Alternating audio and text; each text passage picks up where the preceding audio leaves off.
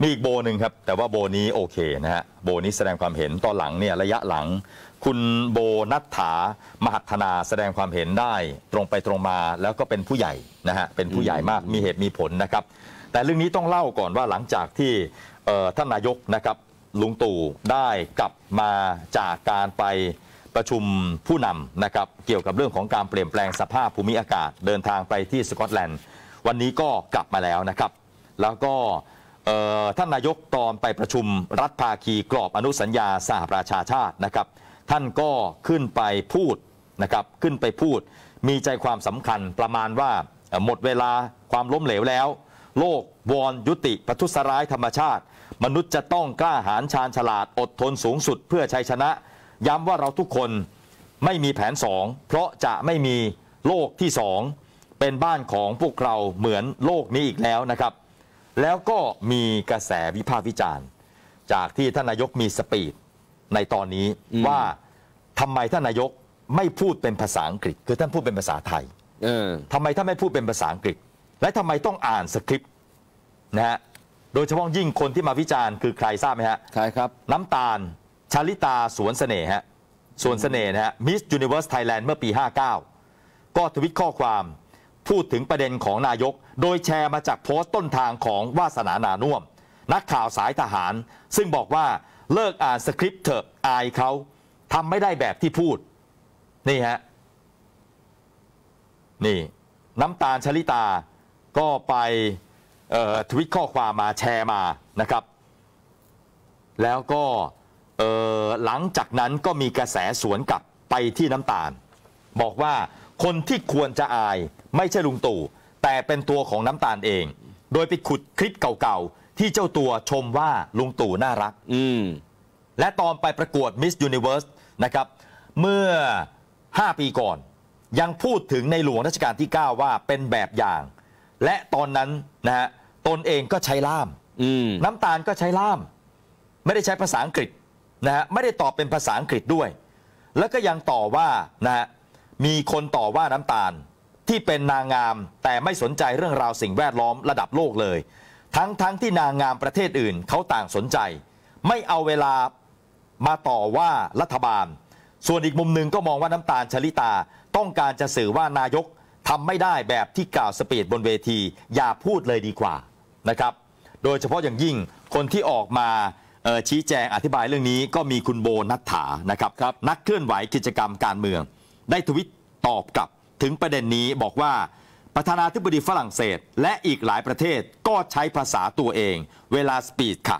บางครั้งผู้นำที่ใช้ภาษาอังกฤษได้ ก็ตั้งใจใช้ภาษาประจำชาติ เพื่อเน้น national identity เวลากล่าวสุนทรพจน์อย่างเป็นทางการ ส่วนการใช้ภาษาอังกฤษได้เอง ก็เป็นประโยชน์ในการเจรจา คือสะดวกขึ้น แต่หลายประเทศก็ใช้ล่ามก็ไม่ได้ผิดอะไร ก็ทำให้มีกระแสโซเชียลชื่นชม คุณโบนัฐถาที่ใช้เหตุใช้ผลในการวิจารณ์ และการตอบกลับน้ำตาล แบบนี้นะฮะก็ยิ่งทำให้ฝั่งกองเชียร์ต้องรู้แล้วว่า จะตำหนิรัฐบาลหรือว่าแซะทุกเรื่องเนี่ยมันไม่ได้อืมนะอืมคือไม่ว่าลุงตู่จะไปทำอะไรเนี่ยก็ก็โดนอะใช่นะฮะคือพูดภาษาไทยในเวทีนานาชาติก็ไม่ได้นะครับ ต้องต้องพูดภาษาอังกฤษสิแล้วทำไมก้มอ่านอืมนะฮะ นี่ น้ำตาลชลิตาครับ โดนกับตัวเอง ตัวเองสมัยก่อนก็ใช้ล่ามเออนะฮะนี่ถือว่าเป็นเป็นการวิจารณ์แบบที่ไม่มีเหตุผลน่ะแล้วไม่ดูตัวเองอะเออใช่ไหมฮะใช่ เออ ถ้าเกิดผมนะ หรือว่าเรานะท่านผู้ชมฮะถ้าเราเนี่ยสมมุติว่าเราอ่าสมมุติว่าเราไม่เก่งภาษาอังกฤษ และเราไปเห็นคนอื่นนะครับ เห็นคนอื่นพูดภาษาไทยไม่พูดอังกฤษ เราก็เราจะไปต่อว่าคนคนนั้นเต็มปากเต็มคำเนี่ย มันมันก็ไม่ได้นะใช่ว้ายไม่เก่งเลยพูดภาษาอังกฤษไม่ได้เหรอเออ แย่อะทำไมอะใช่ไหมเออถ้าตัวเองเก่งภาษาอังกฤษว่าไปอย่างเออใช่ไหมฮะแต่นี่ตัวเองก็ไม่ได้เก่งภาษาอังกฤษแล้วไปยังไปว่าคนอื่นเขาอย่าอีกไปว่าคนอื่นเขานะฮะคือว่าคนอื่นโดยไม่ดูตัวเองอะอืมอืมอืมโดนสวนสิฮะหงายเงือบไป นี่นะฮะแล้วก็เรื่องสปีดของนายกรัฐมนตรีนะฮะก็ยังมีมีคนไปถามว่าเอ่อ คำว่าโลกใบที่สองหรือว่าแผน B หรือว่าแผนสองเราไม่มีแผน B แล้วไม่มีแผนสองนั้น เป็นการก๊อปคำพูดมาอืมก๊อปคำพูดของ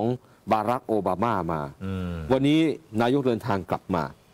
ก็มีคนไปถามนะซึ่งนายกก็บอกว่า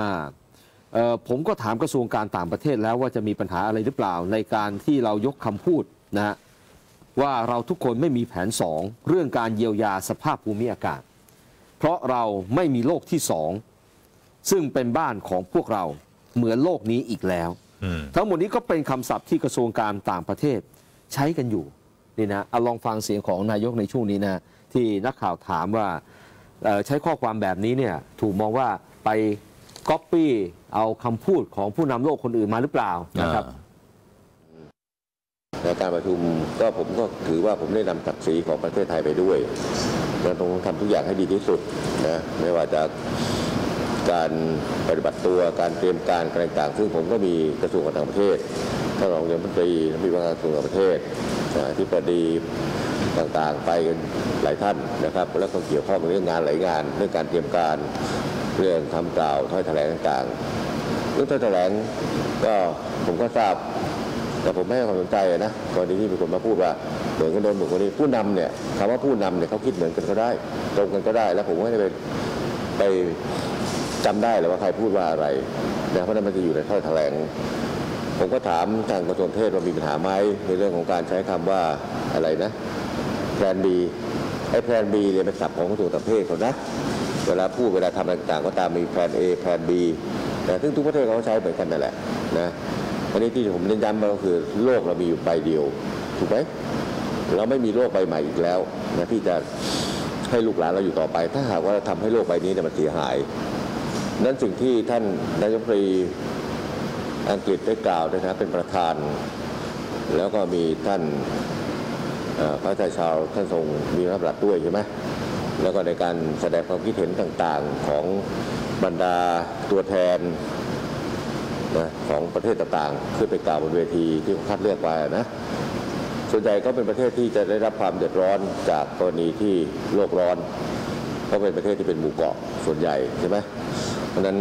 ทุกคนก็พูดถึงเหตุผลและความจำเป็น ซึ่งในที่ประชุมทั้งหมดเนี่ยผู้นำทั้งหมดกว่า 120 ประเทศเนี่ยยอมรับคราวนี้ยอมรับแล้วว่าทุกอย่างเนี่ยเป็นเป็นเป็นข้อเท็จจริง เป็นสิ่งที่เราในฐานะเป็นผู้นำในเวลานี้ต้องต้องปฏิบัติให้ได้